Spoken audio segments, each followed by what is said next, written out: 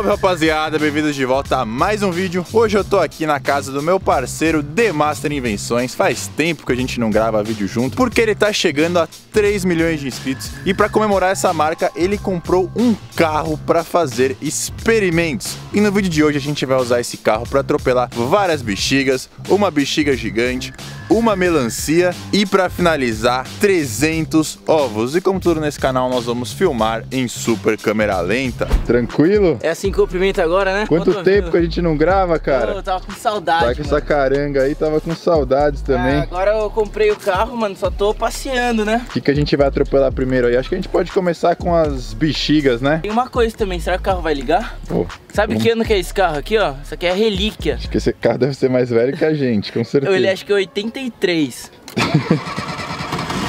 oh, Olha o ronco, motor V8 turbo. Acelera aí. 400 cavalos. Esses carros antigos não é fibra de carbono, não é ferro, irmão. O negócio é pancada. Bom, vamos lá, nosso piloto aqui. Bora. Toreto de Caieiras. Ah, vamos tá ligado, lá. né? Tô até fazendo academia, você viu como eu tô com os braços do Toreto mesmo? As bexigas estão posicionadas. A nave ali, o V8.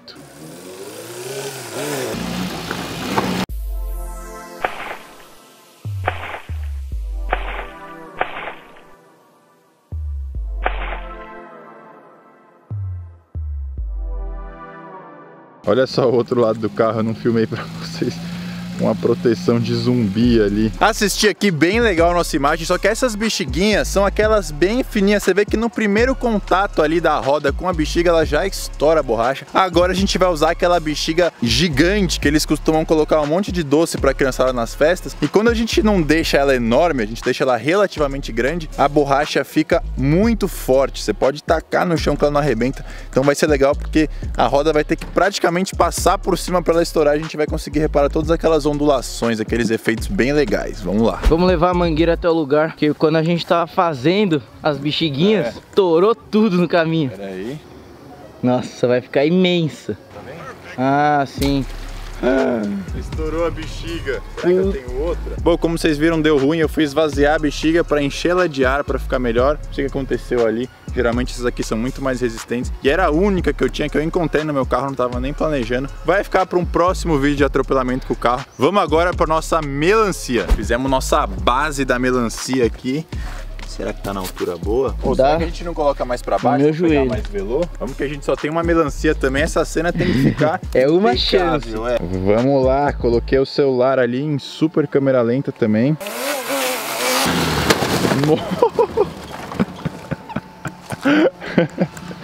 Caraca, quase que faz um strike nos ovos. E aí?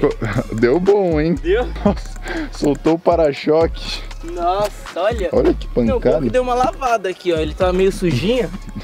e agora tá até aromatizado aqui, ó. Não tem nem um, um mês de uso, já danificou. Oh.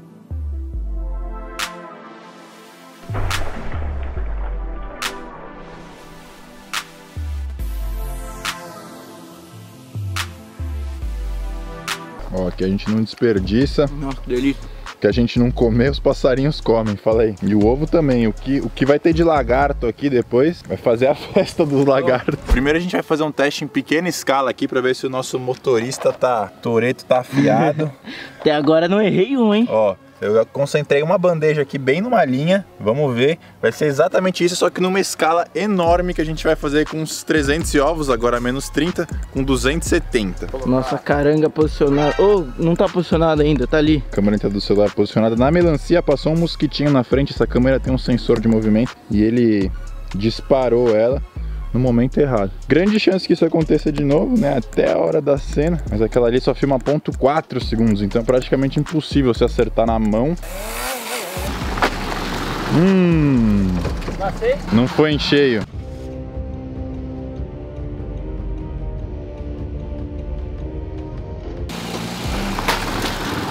Aê, agora pegou, hein? Fui verificar aqui a câmera do nosso Samsung. Todas as vezes ela foi acionada por um mosquito e não pegou a super câmera lenta. Olha o que sobrou aqui. Olha aqui, ó, o banquete dos lagartos. Aí tá pronto. Sobraram uns aqui, hein?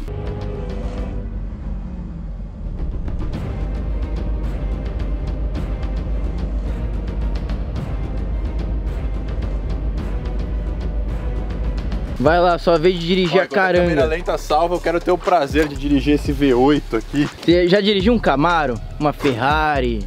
Ainda não. Vou ter esse... É a mesma coisa, você vai ter a mesma Caralho, o banco tá impressão. o máximo pra trás? Tá. Ô, louco. Não caibo no carro. É que tá travadão o negócio aí. Nossa. Tem banco aqui do lado. Eu ranquei também. Nossa, acho que tá um pouco espremido aí. Nossa, meu joelho vai dar aqui na...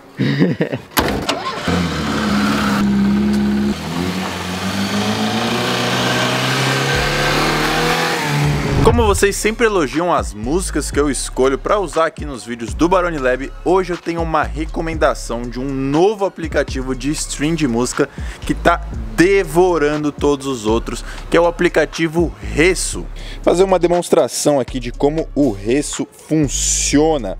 Ele tem uma interface super simples e intuitiva, é muito fácil de mexer. Além disso, uma das coisas que eu mais gostei foi que você pode encontrar aquelas músicas do TikTok, tem as playlists do TikTok, aquelas músicas que você não consegue encontrar de jeito nenhum. Ele mostra aqui, igual essa aqui que eu curto muito, tá bombando demais.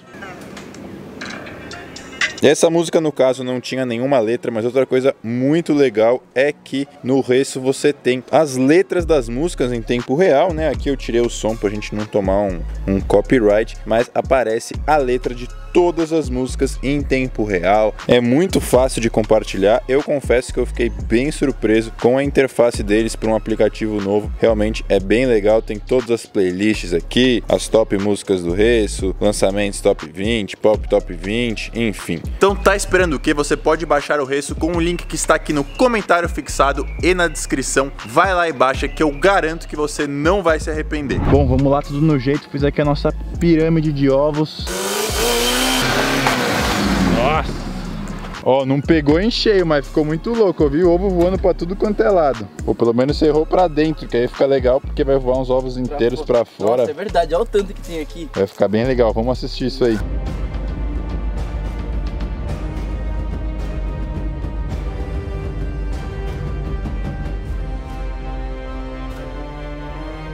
Bom, sobraram os ovos, não foi tanto como eu imaginava, então para finalizar, fizemos o mesmo esquema da melancia, a última pirâmide ali, terminar o banquete dos lagartos. Tá pronto aí? Nossa!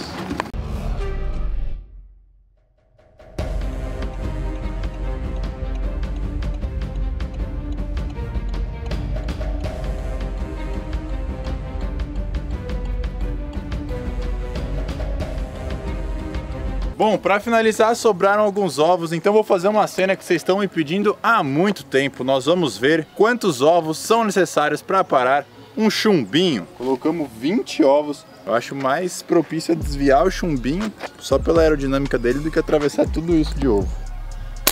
Foram poucos, não passou nem 5. Eu acho que desviou para cima. Vamos ver aqui na câmera lenta que a 6 mil frames por segundo a gente consegue ver o chumbinho.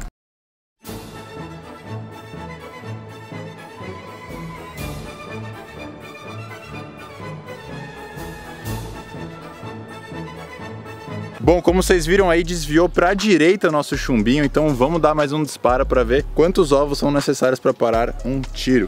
Pelo menos foram quantos? foram cinco. Cinco. Vamos pelo menos acertar bem no meio, retinho, para aí qualquer coisa tem aerodinâmica, né, que o chumbinho vai girando assim. Pode ser que mesmo acertando no meio ele acabe desviando para a direita, aí não vai ter o que fazer. Oh, Foram 7, 8 e olha só, desviou pra direita. Mas É, é, de pela novo. aerodinâmica dele mesmo, não vai ter jeito. Eu sei que ele desviou e saiu aqui pela direita. nossa, talvez, agora um, já fez uma melequeira. talvez só um projétil de arma de fogo pra ter peso suficiente pra não desviar essa trajetória e arrebentar, sei lá, uns 30 ovos. E se você tentar acertar um pouquinho pra esquerda, Pode ser. pra ele fazer a curva assim? Vamos ver.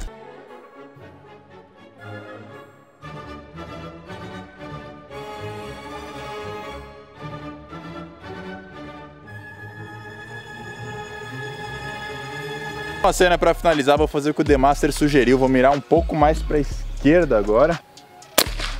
Uf, também não foi, né?